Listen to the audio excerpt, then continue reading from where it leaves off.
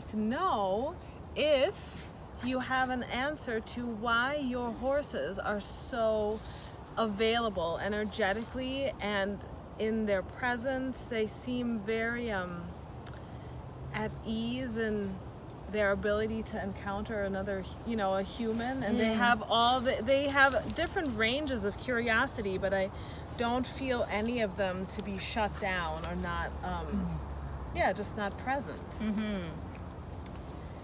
I think um, a couple things. I think that, and none of these are more or less important than the others. I'm not sure. As we talk through it, maybe we'll go, actually, that's more important. but uh, what I'm thinking is that, um, first of all, environment. yeah You can't take an animal whose natural habitat is this and put it in a cage right and think you're going to see a natural expression of that animal's core being. So we have horses that were genetically have moved 25 to 30 miles a day and we need to provide movement for them. And so this is another interesting thing about movement. If this was just a flat square yeah of 30 acres and you could see from one corner to the other, that actually would not be a natural environment. And they would become very bored. They would probably become irritable. They would probably start destroying the fences Yeah. because they'd be like, this is not, this is not okay. Right? So, but this, the, the landscape has different heights, it has different trees, it has, you know, they can go from one end, go back, go around, it. like you actually feel like you're journeying somewhere. right So I think that's an important thing when we look at horse property to not look for the big open field. right Look for varied terrain, look for hills, look for trees, look for irregularly. Come on, mama. Kumba. Yeah, she got you. You were, you were being such a bad boy with that. Good mama. You teach him a lesson. See? That teaches are you him. okay big boy oh. Oh. He's okay, but she got him good. she did She, she, she. So that's again Yeah. freedom of expression. I'm not yelling at her, right and I'm not going, "Oh, poor Kumbi." I'm going, "Kumba, I watched her tell you twice to leave her alone, and you didn't leave her alone, right so she tagged you." right So, but see, he's okay. he is totally fine. Are you all going back? Hi Taro. There comes Juno. Hi Junebug.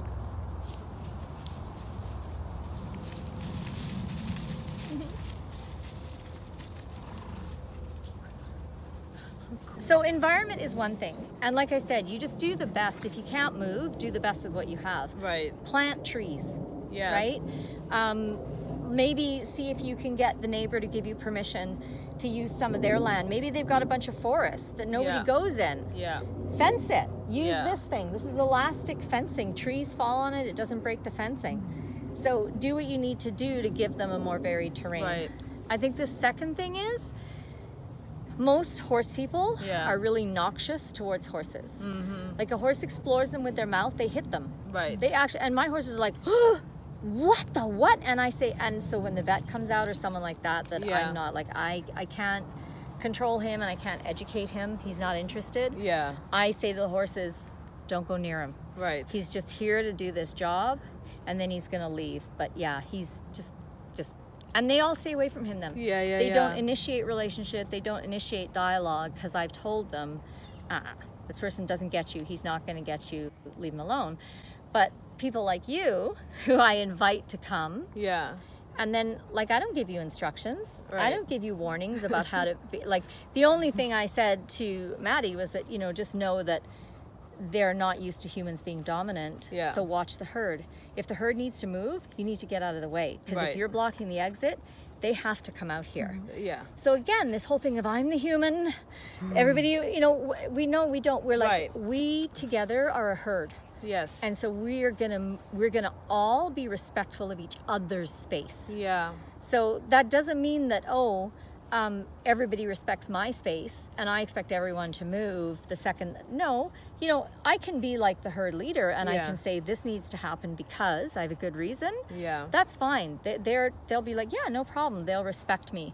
But if I want everyone to move when I click my fingers just because I'm the human, then they're like, well, you're an asshole. Yeah. So then, you know what I mean? So then you have a horse that maybe is going to shut down because they're like, you're a jerk.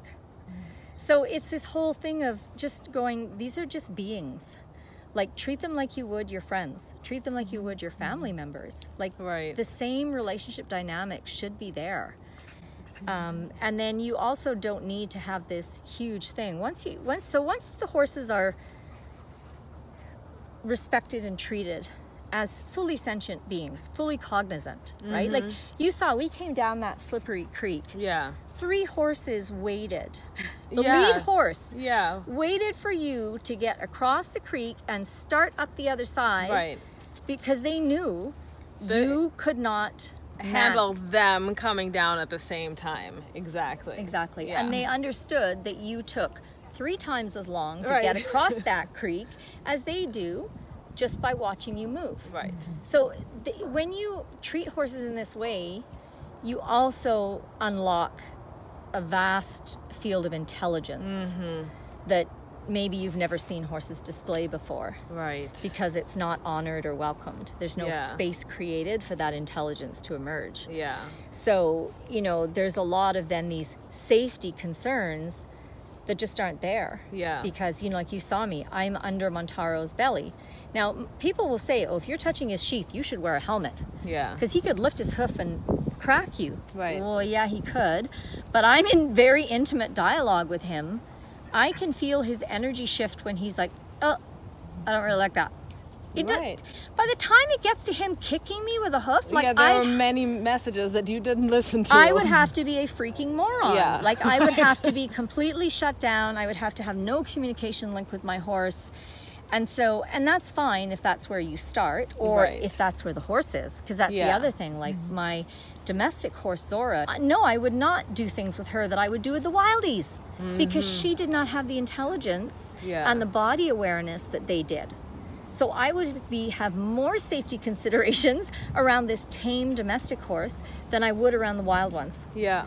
because she didn't have any of the empowerment. She wasn't grounded. She wasn't she didn't understand where her body was in space the way they did.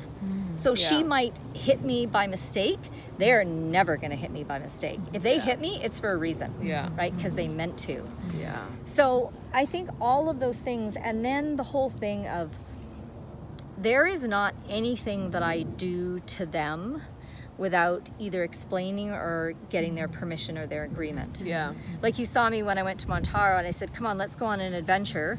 Do you want the neck loop or the halter? And I mm-hmm. hold him like this, and he touched the halter. Yeah. Okay.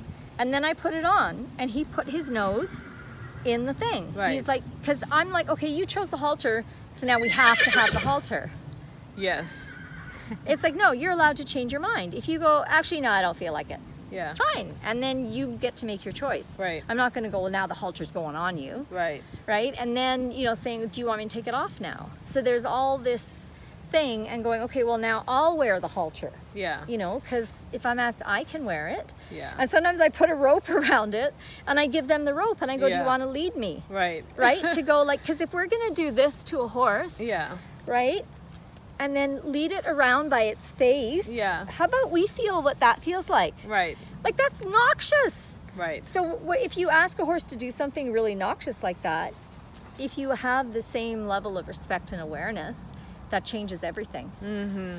Everything they have done from their hoof trimming to chiropractic to sheath cleaning, everything is done unhaltered, at liberty, Yeah. in the field or the, wherever they want to be. Right. And sometimes they've come back here to have their hoofs trimmed. Yeah. And we work with them because it's like, well, we're asking you. Yeah. And then sometimes they'll say, I don't need my hoofs trimmed. And we'll be like, but your hoofs are looking really bad. And they'll be like, leave them alone. yeah. And then I'll say, okay, it's your feet. Right. Guess what? Yeah. It's your body, it's your feet. So we do all these things to horses out of the fear that we're not being good horse owners or someone else might criticize us. But we're assaulting their body, we're invading their private. Like, who owns your body? Do you own it or do I own it? yeah. Exactly. Right. Right? It's really a lot of what I feel are really basic things. Yeah. And then, of course, when you do all those things, you have an animal that does not resemble a domestic horse at all, right? Yeah. They're they definitely have a very very vibrant and alive energy to them. They're And so, what do you perceive is different with these guys?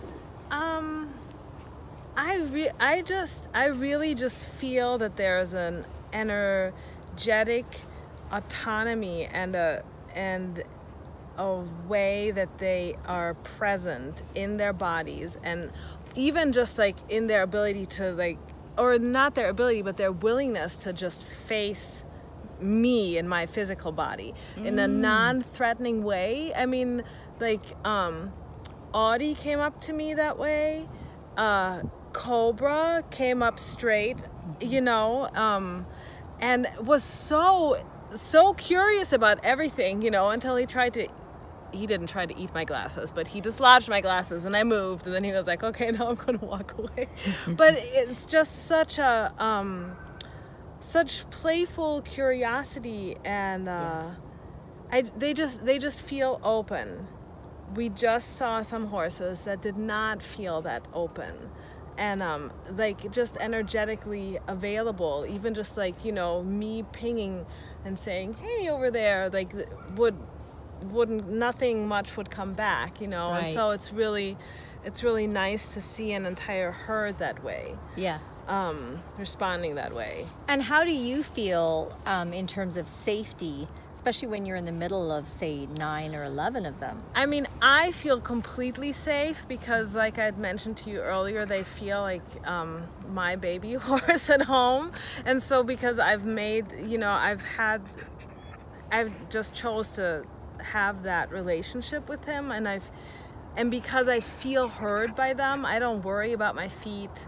I don't, you know, I don't worry that they're going to like really harm me in any way because they're not interested in harming me and they're fully aware of their bodies and I can say, "Oh, you're a little close," or "Oh, I said to one of them, it was um, Juno. I was like, I don't know you yet, so please don't nibble on my fingers." Right? Because I don't know how if you know not to bite me. Like you can nibble. And then he tried again and he showed me that he actually can just nibble and I'm like, "Okay, then we're cool." Just don't bite me. Yeah. because it's my skin and I don't I'm not a horse. You can't just bite. I mean, you know, you can, but that's going to hurt. So please don't bite me and he didn't. Yeah. So i uh, no, I feel completely safe because I I you know, I feel heard by them. Yes, exactly. Yeah. Mm-hmm. I think that's the key is that when you set it up and you allow and you facilitate your way, it's a two-way thing. Yeah, completely. So it's it, it all flows both ways and I think that's where the huge reward comes in. What's your reward for giving up your pseudo control Yeah. over another being? Yeah, that that beautiful actual relationship back and forth. Yeah, Mhm, exactly. Yeah, that's gorgeous. I agree. Yeah, it's super exhilarating, exciting. I'm so glad that have these long moments. Even when I went back to to see the horses, and Odin was looking at me, and we just looked at each other for a while, and then she just followed, and she did exactly that thing. When we were going down the slippery slope, I looked back and she waited, and then I went all the way around, and then she started to come down. So she was always behind me, but I never felt like she was gonna step over me. And we were talking, and and I just met her, so it felt amazing. It was just like there was an open dialogue. And uh, slow at the start. At the start, I was like, "Ooh, she's big," but she looks so gentle. They all have that gentleness actually in their eyes. Because I wasn't there, nobody was giving you instructions. Yeah. You weren't in a round pen, you were free on 30 acres. Yes. And the horse was completely free to choose Yeah. or say no, but she chose. Yeah. And that felt amazing actually when I saw that she came towards. I was like, "Hi." it was really, really spectacular. Yeah. Yeah. and she left, she left all the other horses and followed you alone Yeah. to the back and down and across a creek and up the other side and all the way. Yeah. You know, she followed you over basically 25 acres alone. That's true. It's quite special. Mm, and then these guys. And then these guys.